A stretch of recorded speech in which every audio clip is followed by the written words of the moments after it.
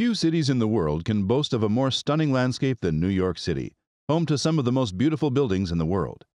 As the finest examples of its rich architectural heritage, check out these 10 most beautiful buildings in New York City. Number 10. The Chrysler Building. The inauguration of the Chrysler Building in 1930 set off a huge debate. Some called it inane, some said it was unoriginal, but many hailed it as an iconic and modern structure that would go on to become a landmark of New York, and indeed it has.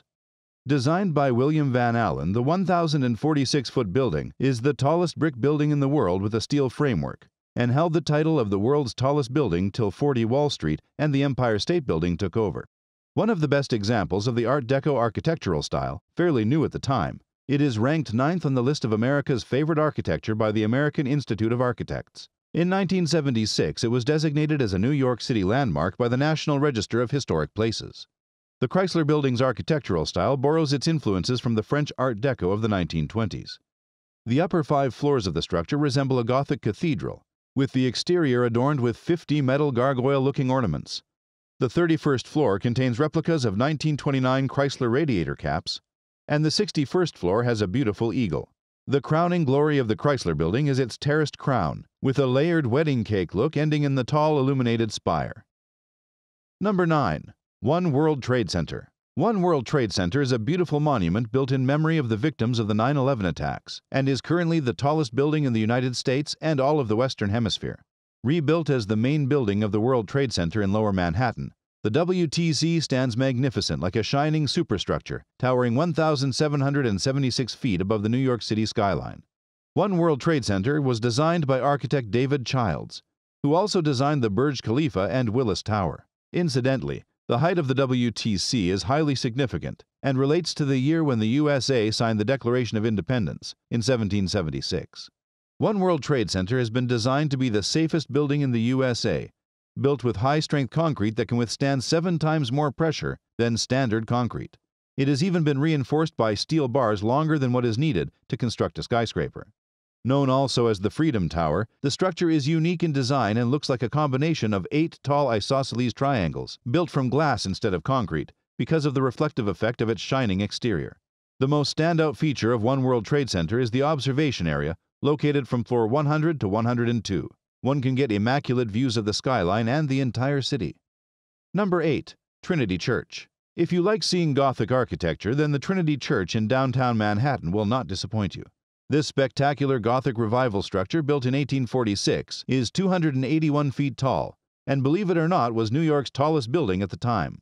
Surprisingly, the church withstood the attacks on September 11, 2001, standing strong and defiant even as modern buildings all around it crumbled into powder.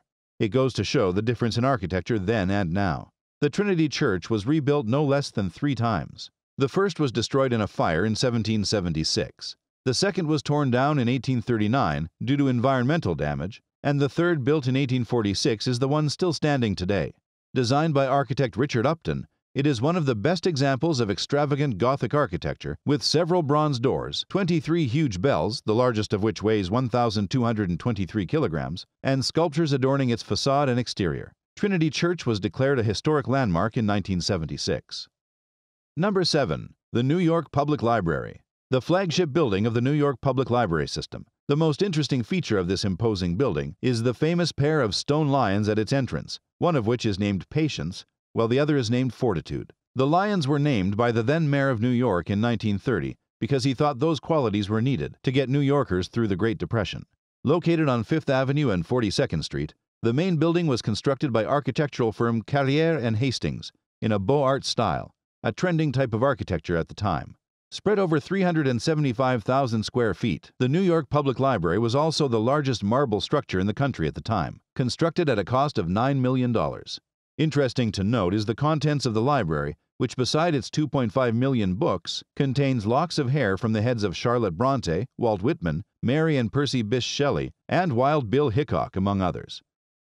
Number 6. 1 Vanderbilt. 1,401 feet, 58 stories. Towering over the Empire State Building at 1,402 feet, like an ornament of the New York skyline, is the posh 1 Vanderbilt a super skyscraper built by New York's largest architect firm, Kohn Pedersen Fox, at a staggering cost of $3.4 billion. Located in Midtown, One Vanderbilt is one of the most unique buildings in New York because of its fluted terracotta surface and canted glass panels. The tower is also regarded as one of the most eco friendly structures in New York, with a low carbon footprint because of materials used in construction. All of 67 floors, it was opened in September 2020 and features one of the most beautiful observation areas in New York City. The observation deck on One Vanderbilt is located 1,000 feet high and takes up the 57th, 58th, and 59th floors. A major attraction is the 71,938 square foot step out deck and glass floor ledges from which one commands a panoramic and stunning view of the skyline and the city. Number 5. Woolworth Building, Tribeca. When the Woolworth Building was built in 1913, it was considered the tallest building in the world at just 792 feet. The 60 story building above Broadway between Park Place and Barclay Street in downtown Manhattan is obviously dwarfed by the modern day super skyscrapers adorning New York, but few can match the beauty and stunning features of Woolworth's. Commissioned by five and dime millionaire Frank W. Woolworth and built by architect Cass Gilbert in the neo Gothic style, the building looked like a Gothic cathedral. It was highly acclaimed as a pioneering effort in construction due to the use of its steel frame and stunning interiors and exteriors. Designed as a landmark building in 1983, Woolworth's has remained a favorite with New Yorkers for years. Its most beautiful feature is its immaculate lobby known as the Arcade, and has often been described as looking like the interior of a cathedral. It was regarded as one of the most beautiful lobbies in 20th century New York, consisting of two two story high passageways with barrel vaulted ceilings. While the building cost $13.5 million to construct, it was sold by Woolworths to the Witkoff Group for $155 million in 1998. Number 4. Flatiron Building. Located on Fifth Avenue between 22nd and 23rd Street, is New York's most captivating edifice. The Flatiron Building, which many movie fans will recognize as the office of the fictional Daily Bugle in Sam Raimi's Spider Man. Designed by architect Daniel Burnham and built in 1902, the peculiar triangular shaped building defied architectural practices, and many thought it would be just a few months till it toppled over. Now, almost 120 years later, it's still standing strong. The 22 story, 307 foot Beaux Art building, shaped as a triangular monolith, represented the threat and thrill of modern architecture. When American photographer Alfred Stieglitz took his iconic shot of the building in 1903, he described it as a picture of a new America still in the making. Unfortunately, the building is not a tourist friendly landmark today, but you can view the black and white photos and read a few panels on the history of the tower in its lobby. The Flatiron was never among the tallest buildings in the city, but it was certainly a favorite among photographers and artists alike as a memorable symbol of New York. Number 3. Zaha Hadid, 520 West 28th Street. Looking more like a huge UFO rather than a building, the stunning Zaha Hadid building is a futuristic Chelsea condominium and showpiece of late architect Zaha Hadid. The spectacular structure overlooking the High Line is her only work in New York City and was her final project before her death in 2016. Showcasing her signature style of a blend of Art Deco and Jetsonesque style, the building was a beautiful addition to the Starchitects Row, an area famous for its group of residences for the elite, created by the most famous names in contemporary architecture like Frank Gehry, Jean Nouvel, and Shigeru Ban.